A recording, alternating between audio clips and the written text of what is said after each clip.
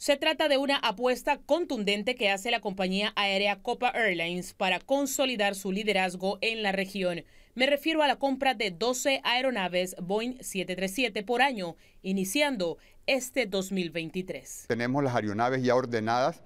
Es de acelerar el crecimiento de Copa en los próximos tres y podemos hablar de los próximos cinco años.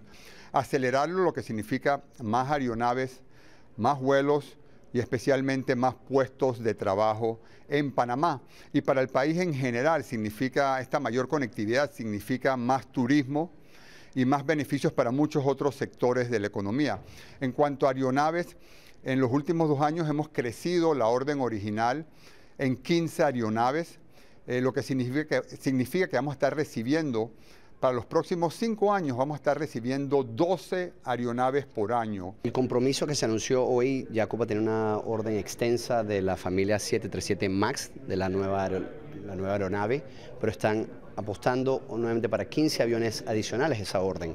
Lo que queda ahorita es entregar 64 aviones básicamente eh, a partir de este año hasta el 2028, que un averaje te da más o menos ese número, pero no es lineal. Pedro Helburn, CEO de Copa Airlines, presentó dichas estimaciones en un informe que hizo público a medios de comunicación, inversionistas y autoridades. Explicó que la inversión de dicha flota en los próximos tres años será de 1.700 millones de dólares por año. Para potenciar el liderazgo de Panamá en cuanto a conectividad aérea.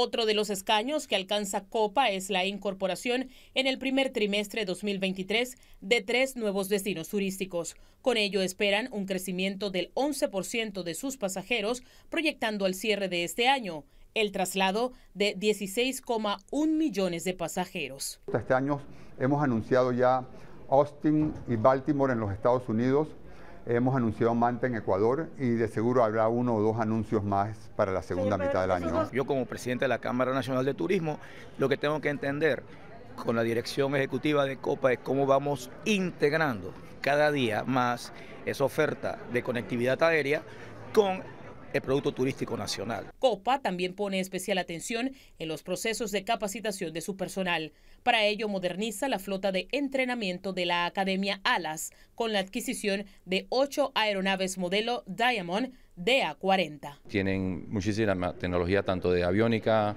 eh, el motor es algo totalmente novedoso que consume pues jet fuel en vez de la gasolina regular de avión que es el 100LL.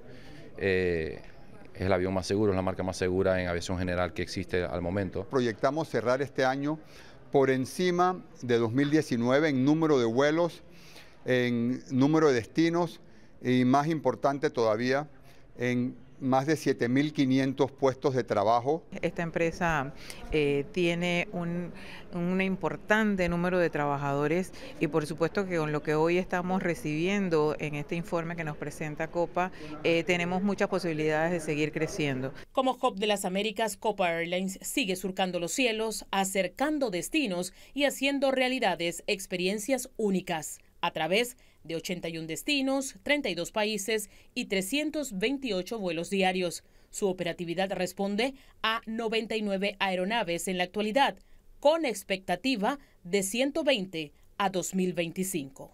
Taisha Nurse, Telemetro reporta.